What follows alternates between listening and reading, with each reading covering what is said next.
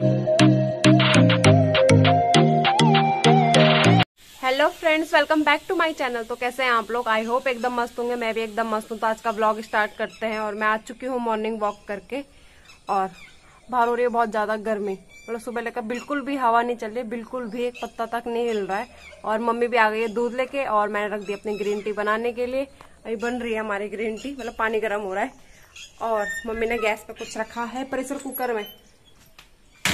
जो कि सीटी दे रहा है। मम्मी ने शायद बैंगन रखा है। बैंगन का भरता बनाएँगे शायद से आज। ये रही मम्मी। आज आपने किसके साथ की चुन्नी डाल के? ये नई चुन्नी। नया स्टॉल मम्मी का। पापा के लिए गर्म पानी कर दिया। मैंने अपने बनाओ में पापा से दिया देंगे। क्या पानी गर्म करके पी रहे हो? बस पानी पी रहे हो? कुछ और क्योंकि सबको लगी हुई है जुकाम तो सब गर्म पानी पी रहे हैं आजकल। उसमें क्या कद्दू? और इसमें क्या है? हाँ वो तो। बैंगन? तो आज बैंगन का भरता बनेगा जो कि ऐसे पहले उसमें गर्म कर देते हैं मतलब बॉईल कर देते हैं फिर उसके बाद बनाते हैं। लोग गैस पे करके जला के बनाते हैं मतलब बैंगन का भरता पर हम लोग उसमें डाल के करते हैं। उमाल उबाल के। तो जाके और ममता को भी लग चुकी है जुकाम वो भी लगी है सुप सुप करने पे। और हमारी ग्रीन टी भी बन चुकी है और मैं मिलती हूँ आपको थोड़ी देर में। ये हमारे पेड़ का करेला, पहला करेला लगा है जो हमारे पेड़ पे। ये ये टमाटर टमाटर तो बहुत सारे लगे हुए हैं हमारे पेड़ पे। टमाटर के मतलब। और ये भुज्जी, चूहा बोलते हैं शायद इसको। मम्मी ने बोया था एक दिन, जो ब्लॉग में देखा होगा आप लोगों ने, वो है। और इतनी सी भिंडी भी रही है हमारे पेड़ पे बाहर। अभी इतनी सी हुई है, क्योंकि अभी छोटे छोटे हैं पेड़। दो तुरई भी लगी थी, जो कि मम्मी ने तोड़ दी है कल। ये भी हमारे पेड़ की है ये देखो जरा ये मेरे से छुपा के भंगुल रख रखा ऊपर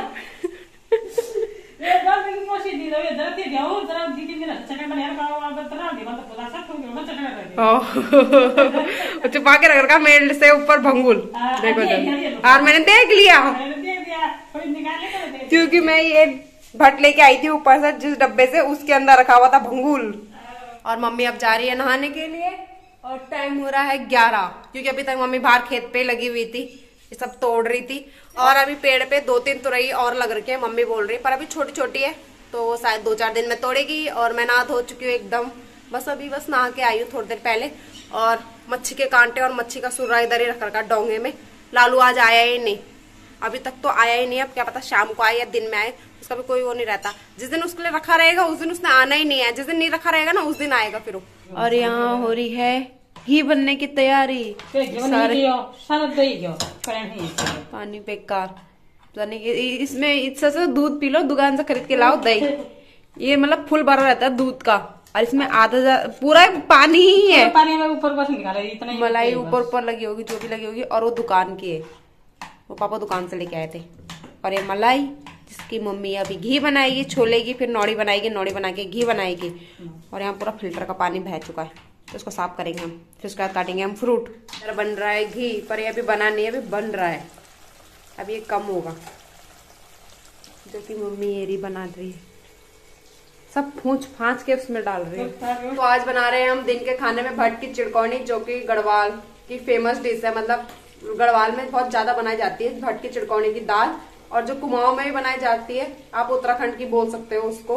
तो मैंने सारी तैयारी कर दी है। ये रहे भट्ट, जो कि मैंने धुल दिए है इनको अच्छे से और सूख चुका है इसका पानी, क्योंकि इनको तेल में डालना है तो गीले नहीं डाल सकते, सूखे डालेंगे। तो इसमें सफ़ेद भी है, काले भी है। प्याज, अदरक, लहसुन का पेस्ट, और ये मम्मी की घी की करची मम्मी ने इधर रखी है। और ये टमाटर, थोड़ा सा ही काटा है मैंने, ज़्यादा नहीं कि थोड़ा थोड़ा डालेंगे। तो बनाते हैं। चढ़ा दी है कढ़ाई और हम बनाएँगे लोहे की कढ़ाई में, क्योंकि लोहे की कढ़ाई में बहुत अच्छा बनता है इसलिए, और टेस्ट भी आता है। तो लोहे की कढ़ाई रख दी हमने। तो डालेंगे रिफाइंड रिफाइंड थोड़ा ज़्यादा रखना है, कम नहीं रखना है, क्योंकि हमने भट्ट को फ्राई करना है थोड़ा। तो रिफाइंड गर्म हो चुका है, अब इसमें डालेंगे हम भट्ट।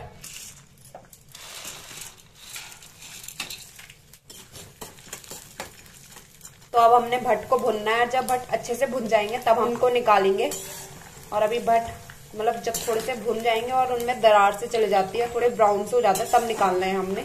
जलाने नहीं है। देखते रहना है कि कहीं भट्ट जल ना जाए। तो भुनना शुरू हो चुके हैं भट्ट, जो कि तड़क तड़क करने की आवाज़ आ रही होगी आप लोगों को। तो भट्ट भुन चुके हैं हमारे, अब इनको निकालेंगे हम कढ़ाई से। डाल दिए भट्ट और आप देख सकते हैं कि अच्छे से भुन चुके हैं, थोड़े ब्राउन हो चुके हैं ये। जो रिफाइंड बचा हुआ था उसी में बनाएँगे हम, मेथी और राई के दाने, थोड़े से। थोड़ी सी हींग। इसमें डालेंगे अदरक लहसुन का पेस्ट, प्याज।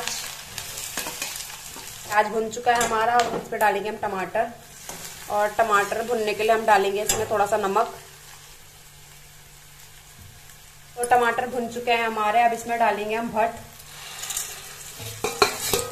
आटा, गेहूँ का। थोड़ा सा। को भुनेंगे।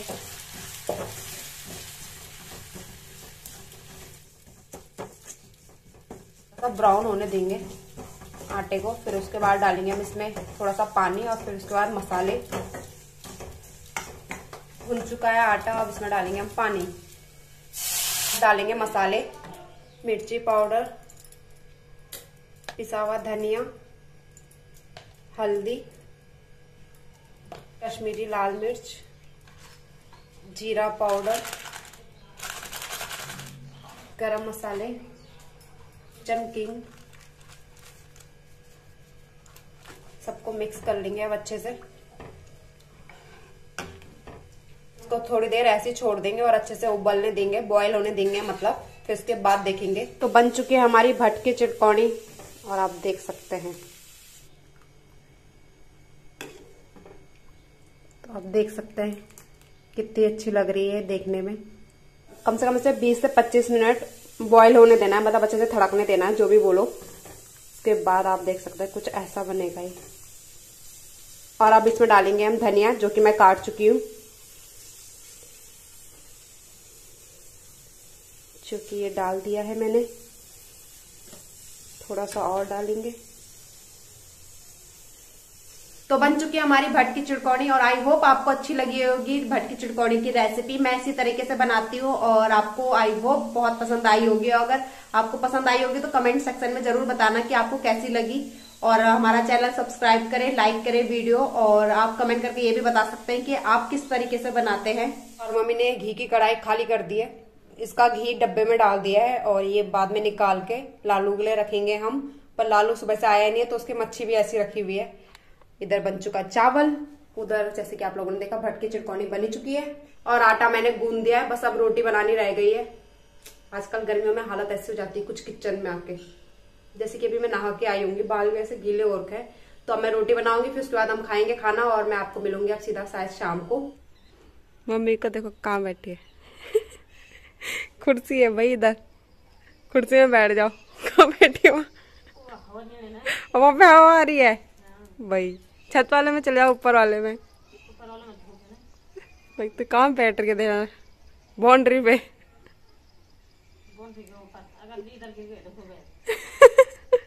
तो क्यों बैठे हो उधर?